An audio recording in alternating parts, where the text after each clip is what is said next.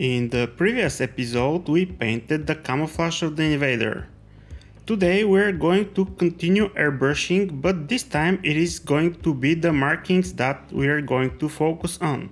First I'm going to deal with the areas which are going to be covered with insignia white and I'm going to cover the area and then mask and apply the other colors because the insignia white of course will be the lightest color and I don't want it to have any difficulties covering and carefully inspecting the provided guideline in the manual of the kit. I will try to position this as good as possible. And then I'll burnish it down so that the mask can stick on the surface and I'll try to remove the carrier film without disturbing the mask too much. Alright, this should be good. It is time for the insignia white. I think it's a good practice to burnish the mask right before you start painting especially on such places like this actuator bump here where it can lift rather easily and happily if I may say so. I'll try to do some marbling here to make the markings like they are worn and also more featureful.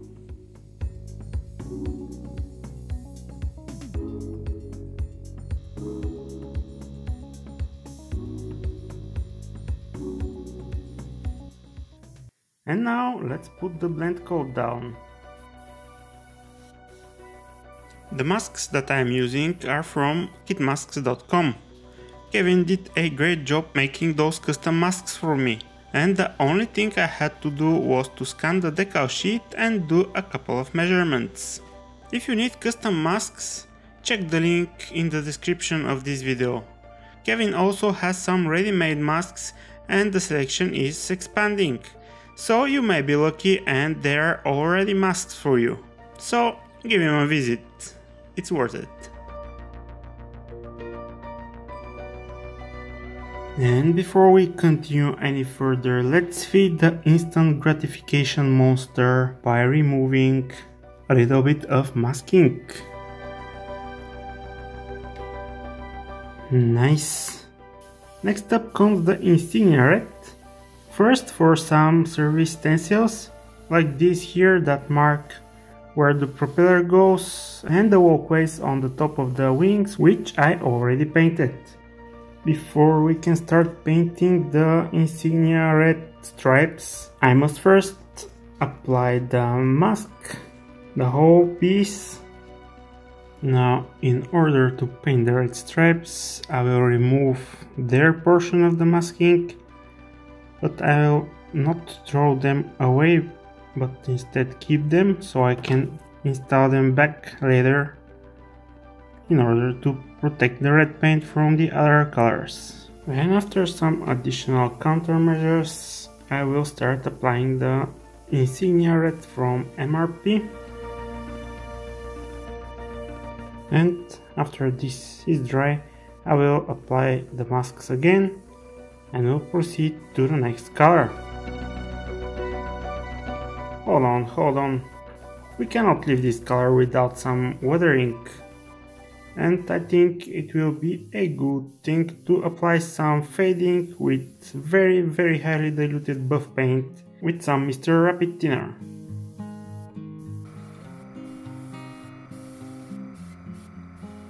Okay, the painting of the walkways is complete and now we can enjoy the removal of the masking. Now let's set the stage for the insignia blue and first we'll have to return the masks of the red areas on their places. And now we can remove the mask that covers the blue area. As usual, links to most tools and materials I use can be found in the description of this video. and now we can paint. First I'm going to do something like a pre-shading, going over the panel lines. And the paint I'm going to use is Surprise Surprise Insignia Blue from MRP and this should be matching FS15044 or ANA502 so I guess this should be the correct color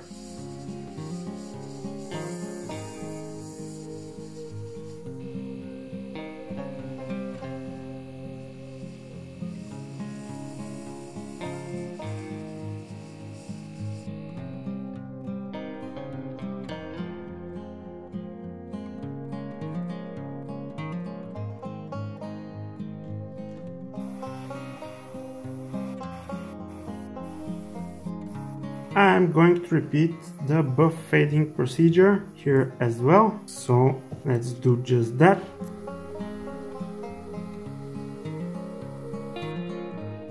Okay, this is the moment of truth I guess. Let's see how our masking came out to do its job.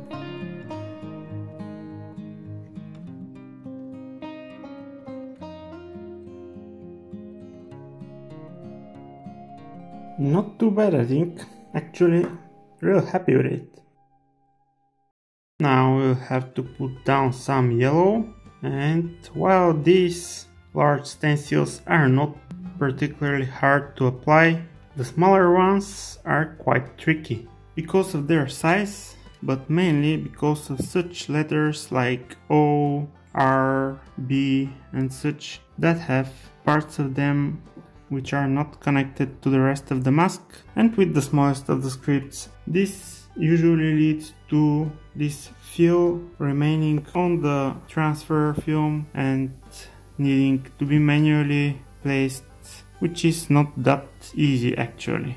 But anyhow, the masks are on and we can start painting. The yellow color that I'm going to use is RLM04 and it is from Mr. Hobby Unfortunately it comes in a semi-gloss finish and for this reason I added a little bit of flat varnish inside to get it to a flat finish. Here I'm again going to try and add some variation in the paint, especially and primarily on the larger areas.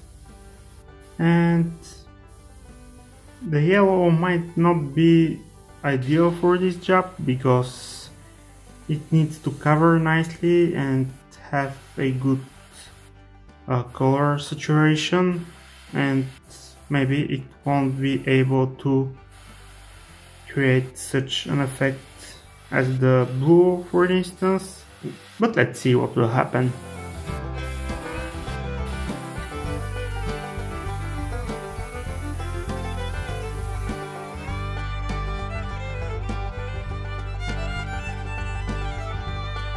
Keeping it close to the plot line, I'm going to do the buff therapy over the yellows.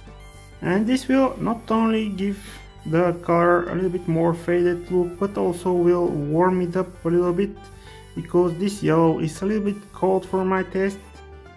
And because this is very highly diluted and you probably don't see anything let me demonstrate here that we have something in the airbrush actually. You see, we're painting some buff.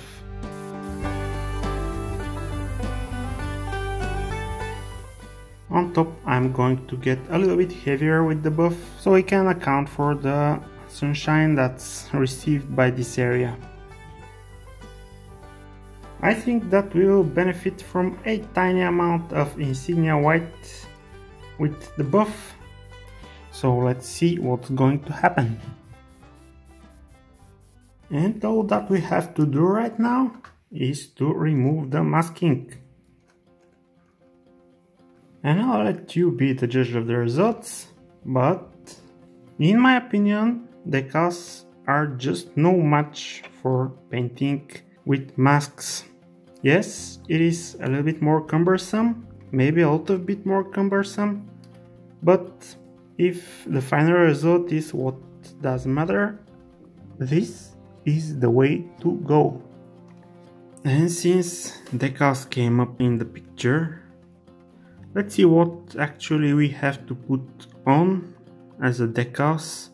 Interestingly enough, here we can see our build. We have the nose art to place and then we have a few writings here above the escape hatch for the gunner compartment but as you can see on this silver aircraft we have quite a lot more technical stencils on the nose area which on this side are clearly missing. I will assume that this is due to the fact this has been repainted on the field and probably they didn't have the stencils or whatever reason they were not applied. Also we have a few decals actually two decals to apply here on each engine gondola to account for the fuel tank filler cap but I will be adding this after I do the chipping. The nose art practically does not have any carrier film or if there is some it is minimal so I will go ahead and attach it directly without any kind of varnish. Okay, it is time to apply the nose art decal.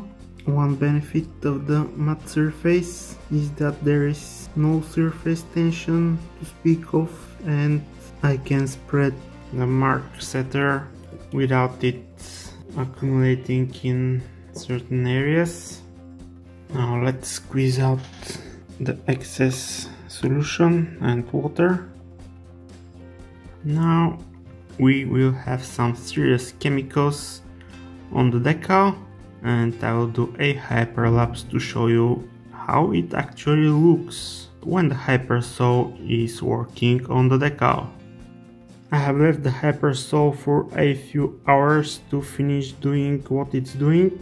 As you can see the decal has laid down quite nicely even on the scoop, but as usual the panel lines are quite difficult to get so what I'll do is run the scalpel blade along the panel line and I will add some more of the hypersaw. For the small decals I applied some gloss varnish as they have quite a lot of carrier film. Since there are only two decals of this type to put, I didn't cover the entire airplane. Besides, we have some chipping to do in the next episode, so yeah, varnishing the entire surface would not end well in this case. Also, in the next episode, I am going to deal with the entire weathering of this airplane. So for most of you, I think this will be the most interesting video of the series. In fact, you can follow the progress and see what is already done on my Patreon page. There I post almost daily updates with a lot of pictures and ad-free videos. For this and more interesting content visit the link in the description. Thank you for watching and until next time, happy modeling fellas!